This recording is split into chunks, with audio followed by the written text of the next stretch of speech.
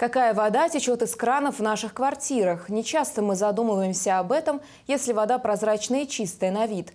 Но если у воды появляется оттенок ржавчины, вряд ли появится желание выпить такую воду или даже принять такой душ. И хотя от одного стакана вреда, возможно, и не будет, регулярное потребление ржавой воды может вылиться в большие проблемы со здоровьем.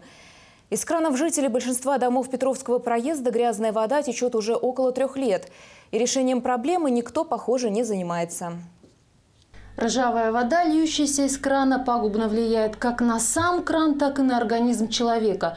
Но с краном полбеды. Можно смеситель заменить. Но заменить почки, желудок и печень невозможно.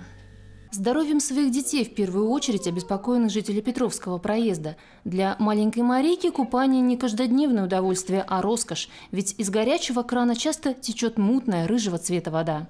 Как когда был первый год, совсем грудничок, э, вот начинаешь набирать ванну, прибегаешь, середина ванны наполнена, вода грязная и паника. Что делать? Либо сливать, заливать заново, либо продолжать заливать. Конечно, купать в такой воде совсем не хочется. Плюс, если полоскать детские пеленки в такой воде, пеленки становятся э, цвета ржавчины. По мнению Надежды, купать в такой воде ребенка опасно, а для приготовления пищи воду приходится подолгу сливать и фильтровать.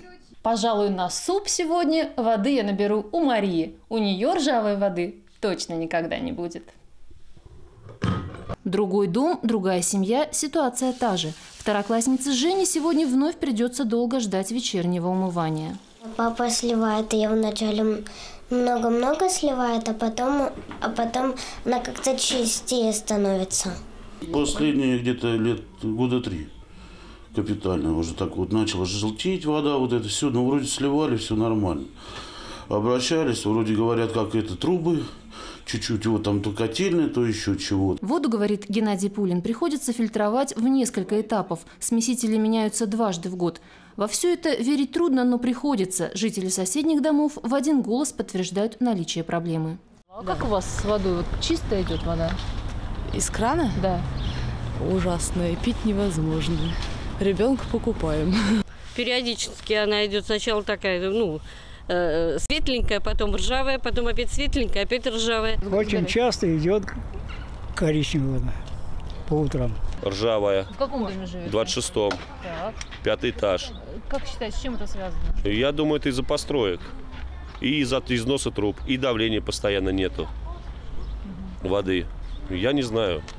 В ЖЭК звонишь бесполезно. Депутат Валерий Черников тоже в курсе проблемы, которая, по его словам, уходит далеко за границы Петровского проезда. А честные не справляются, считает народный избранник. Вообще техническая вода не может быть применена даже в употреблении, потому что это влияет на состояние здоровья. И это очень катастрофично, и этот вопрос надо решать в кратчайшие сроки, да, и именно радикально, потому что по-другому здесь не подойти. Э, отложить этот вопрос разрешения на потом, да, ну, а этого зависит здоровье жителей.